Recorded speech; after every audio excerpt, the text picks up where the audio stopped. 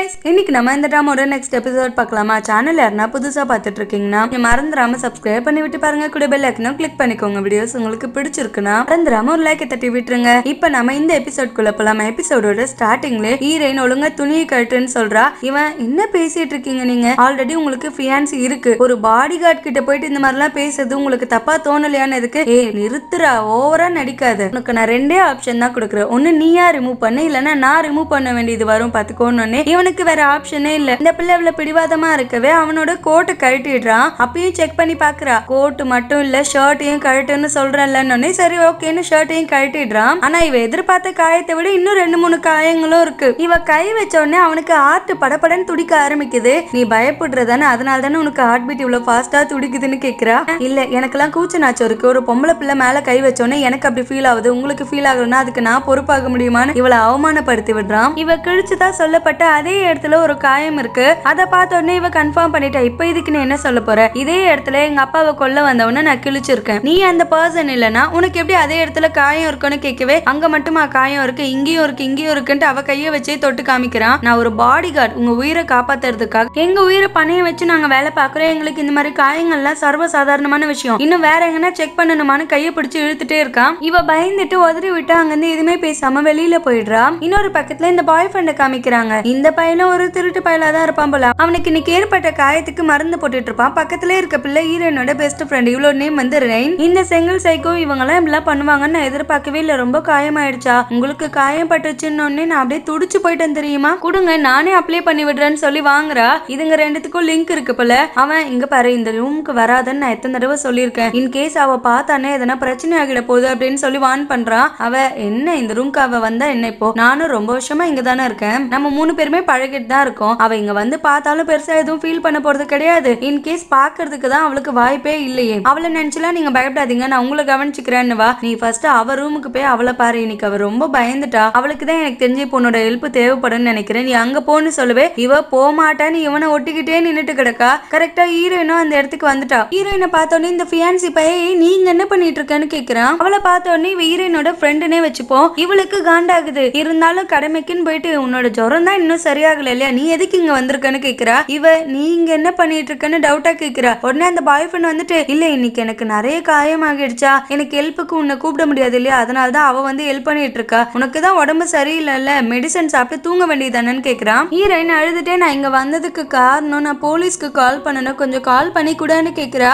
அதை கேட்ட உடனே இதுங்க ரெண்டுத்துக்கும் அள்ளு விடுது. இதுங்க ஏன் பயப்படுதுன்னு தெரியல. இவன் எதுக்குமா போலீஸ்க்கெல்லாம் கூப்பிட சொல்றேன்னு கேக்குறான். அவ இல்ல நான் ஆல்ரெடி சொல்லியிருக்கேன் இல்லையா? என்னோட ரூமுக்குள்ள அடிச்சுட்டு ஒருத்தன் வந்தானு அவன் எனக்கு என்னமோ புதுசா வந்திருக்க பாடி கார்டோன்னு ஃபீல் ஆகிட்டு இருக்கு இப்போதைக்கு என்கிட்ட எந்த ப்ராப்பரான எவிடன்ஸும் இல்ல. ஆனா அவன் பேசுற விதம் அவனோட தோரணை எல்லாத்தையும் பார்க்கும்போது எனக்கு எக்ஸாக்டா அவன மாதிரி தான் ஃபீல் ஆகுது. அது மட்டும் இல்லாம அவனோட நெஞ்சிலையும் நான் போட்டு விட்ட மார்க் ஒன்று இருக்கு. இதெல்லாம் வச்சுதான் சொல்றேன். கன்ஃபார்ம் அவனா தான் இருக்கணும்னு சொல்லுவா. அவன் இங்க பாருமா நீ கொஞ்சம் கன்ஃபியூஷன்ல இருக்கன்னு நினைக்கிறேன். ஏன்னா உங்க அப்பா இறந்த அன்னைக்கு அந்த சிசிடிவி ஃபுட்டேஜ் மொத்தத்தையும் செக் பண்ணி பார்த்தாச்சு. இவன் உங்க அப்பா இறந்ததா சொல்லப்படுற அந்த ஸ்டடி ரூம்ல கூட செக் பண்ணி பார்த்தாச்சு? அங்க கூட யாருமே இல்ல. இப்ப நம்ம போலீஸ்க்கு கால் பண்ணாலுமே நம்ம கிட்ட எந்த எவிடன்ஸுமே இல்லாம என்ன சொல்றதுன்னு சொல்லு அப்படின்னு கேக்குறான் கொலை எங்க அப்பாவை கொண்டிருக்காங்க அது எனக்கு நல்லாவே தெரியும். எங்க அப்பா டெத்துக்கும் அவனுக்கும் ஏதோ ஒரு சம்பந்தம் இருக்கு. அத சொன்னாலே இன்வெஸ்டிகேட் பண்ணுவாங்களேன்னு அதுக்கு இவ பயந்துகிட்டு வரா. உனக்கே தெரியும்ல அங்கிளுக்கு டெத் சர்டிபிகேட்டே கொடுத்துருக்காங்க. என்ன கொடுத்துருக்காங்க? அவருக்கு ஹார்ட் அட்டாக் வந்து இறந்து போயிருக்காருன்னு தானே கொடுத்துருக்காங்க. இப்ப போயிட்டு நீ கொலைன்னு சொன்னா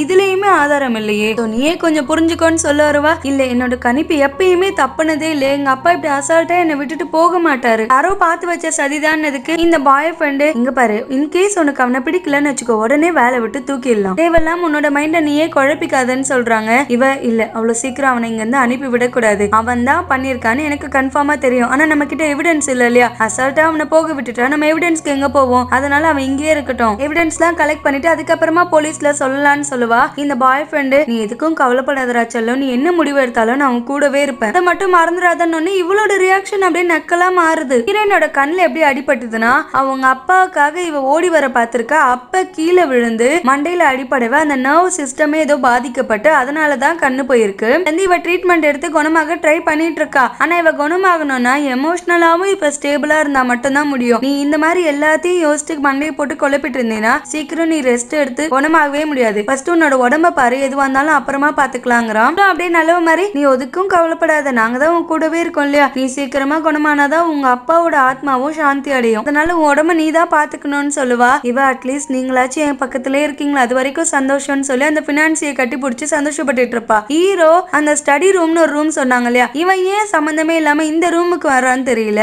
ஹீரோயின் சொல்ற மாதிரி இவனும் ஏதோ தப்பு பண்றானோ அப்படிங்கிற மாதிரி தான் ஃபீல் ஆகுது. அங்க இருக்க லாக்கர்ல இவன் பின் போட்டுட்டு இருக்கான். இன்னொரு பக்கத்துல ஹீரோயினை காமிக்கிறாங்க. ஹீரோயின் எவ்வளவுதான் யோசிச்சு பார்த்தாலும் ஏதோ ஒண்ணு தப்பாவே ஃபீல் ஆகிட்டு இருக்கு. இருக்க சிசிடிவி எதுலயுமே ஹீரோ இல்ல. எல்லாமே நார்மல் தான் சொல்லிட்டு இருக்காங்க. ஆனா ஹீரோயினுக்கு ஒரு விஷயம் ஞாபகம் வருது. எப்பயோ ஒரு பக்கமா அவ ஒரு சின்ன சர்வேலன்ஸ் கேமராவை செட் பண்ணி வச்சிருந்திருக்கா. அது இப்ப ஞாபகம் வரவே இதை போய் நான் எப்படி மறந்துருப்பேன்னு அந்த ஸ்டடி ரூமுக்கு கிளம்பி வரா. இவனும் கரெக்டா இவனுக்கு நல்லா தெரிஞ்ச மாதிரி பாஸ்வேர்ட்லாம் போடுறான். அதுவும் ஓபன் ஆகிடுது. உள்ள பார்த்தா இவன் எதிர்பார்த்து வந்த ஒரு டாக்குமெண்ட் இல்ல. அந்த டாக்குமெண்ட்டை தான் ஆல்ரெடி இவன் எடுக்க வந்த மாதிரி காமிக்கிறாங்க. இவன் தேடிட்டே இருக்கான் சுத்தி முத்தி. அந்த நேரம்னு பார்த்து யாரோ உள்ள வராங்க. வேற யாரு? ஹீரோயின் தான் வரா. கரெக்டா இவன் பக்கத்துல வந்துட்டா. கொஞ்சம் கொஞ்சமா விலகி இவன் தள்ளி போறான். மேல இருந்து ஏதோ ஒன்னு எடுக்கலாம்னு அவன் ட்ரை பண்ணிட்டு இருக்கா. அங்கதான் கேமரா வச்சிருக்கா. இவன் சும்மா இருக்க வேண்டியதானே அங்க இருக்க நோட் அவ மேல விழப்போகுதுன்னு வெடுக்குன்னு புடிச்சிடுறான் அதை இவன் நோட் பண்ணிடுறா. இப்ப இதுக்கு என்ன அர்த்தம்? நீயே சொல்லு. எங்க அப்பாவை நீ கொல்லல. நீ அன்னைக்கு எங்க வீட்டுக்கு வரலன்னு சொன்ன. ஆனா இப்ப இந்த ஸ்டடி ரூம்ல நீ இந்நேரத்துக்கு என்ன பண்ணிட்டு இருக்க? எதுவும் தேடாமல இந்த இடத்துக்கு வந்திருப்ப? அவங்க என்ன வேணா சொல்லட்டும். எங்க அப்பாவோட மரணம் நார்மலான மரணம் இல்லை.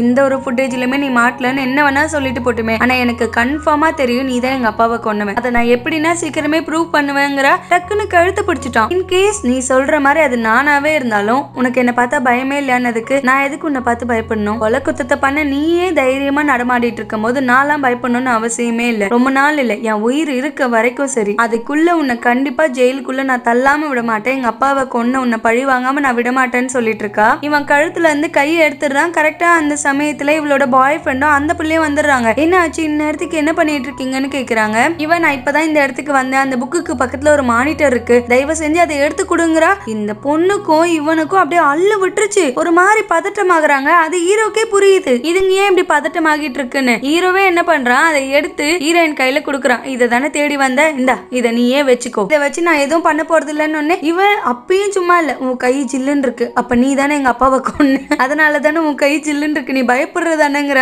அடி பொடிக்கு இருக்கச்சு இந்த ரூம்ல ஏசி அதிகமா இருக்கு அதனால என் கை ஜில்லுன்னு கிடக்கு. அதுக்கு ஒரு காரணத்தை கண்டுபிடிச்சிட்டு வந்து சொல்றியா? சும்மா ஓவர் திங்க் பண்ணிட்டு இருக்காதன்னு சொல்லி கொடுத்துடுறான். இவ அதுக்குள்ள இருக்க ஒரு மெமரி கார்டு எடுத்து அவங்க பாய் ஃப்ரெண்ட் கிட்ட கொடுக்குறா. அவன் இல்ல நான் எதிர்பார்க்கவே இல்ல. அங்கிள் இங்கெல்லாம சிசிடிவி ஃபுட்டேஜ மறைச்சு வச்சிருக்காருன்னதுக்கு இது அங்கிள் வைக்கல. நான் தான் எப்பயோ வச்சேன். அது இப்ப எனக்கு உதவும்னு நான் எதிர்பார்க்கல. இந்த ஃபுட்டேஜ தரவா செக் பண்ணுங்க. இவன் மட்டும் அந்த ஃபுட்டேஜில் மாட்டினா அதுக்கப்புறம் அவனை கம்பி என்ன வச்சிடலான்னு சொல்லி கொடுக்குறா. இந்த பாய் ஃப்ரெண்டு பதட்டமா அதையே பார்த்துட்டு இருக்கான். உடனே என்னாச்சு? ஏன் ஒரு மாதிரி இருக்கேன்னு கேட்குறா அதை புரிஞ்சுக்கிட்டு இந்த ஃப்ரெண்டு பைபிள் வந்துட்டு ஆ இது ஓகே சரி கார்டு ரீடர் உன்ட்டு இருக்கான்னு கேட்குறா ஆ என்கிட்ட ஆல்ரெடி இருக்கு. என்னோட டிரால தான் இருக்கும். போய் எடுத்துட்டு வான்னு சொல்லி அனுப்பி வைக்கிறா. ஆனால் ஹீரோ ஏனோ அதை டவுட்டாக தான் பார்த்துட்டு இருக்கான். இந்த பாய் ஃப்ரெண்டு வேற ஒரு மாதிரி பயத்தோட உச்சத்தில் நின்றுட்டு இருக்கான். அங்கே போனவ அந்த கார்டு ரீடர் எடுத்து அதை போட்டு பார்க்குறா. அவங்க அப்பா கத்துறாரு. யாரோ ஒருத்தவங்க வந்துட்டாங்கன்னு அங்கிள்னு இந்த பாய் ஃப்ரெண்டை கூப்பிடுற மாதிரி இருக்கு. அதுக்கப்புறமா அவங்க அப்பாவை கொன்னுட்டு இருக்காங்க எந்த சத்தமும் இல்ல. இப்ப இவங்க அந்த ஃபுட்டேஜ பார்த்துட்டு இருக்காங்க ஹீரோயின் எதனா சந்தேகத்துக்குரியதா இருக்கான்னு கேக்குற. பக்கத்துலயே தான் ஹீரோவும் இருக்கான் ஆனா ச- எந்த சந்தேகத்துக்குரியதும் இல்லாம அவங்க அப்பா இருக்க மாதிரி மட்டும்தான் வீடியோ வந்திருக்கு. ஹீரோயின் அப்ப கூட ஏய் அவன் இருக்கானா? இந்த வீடியோல அவன் இருக்கானா? அப்படின்னு கேக்குறா. அவ இல்ல நாங்க வீடியோவை கம்ப்ளீட்டா அனலைஸ் பண்ணிட்டோம். உங்க அப்பாவை தவிர அந்த இடத்துல வேற யாருமே இல்ல. நீ சொல்ற மாதிரி யாரும் வரவும் கிடையாது. இப்ப புரியுதா? இது ஒரு ஆக்சிடென்ட் தான். நீ நினைக்கிற மாதிரி எதுவும்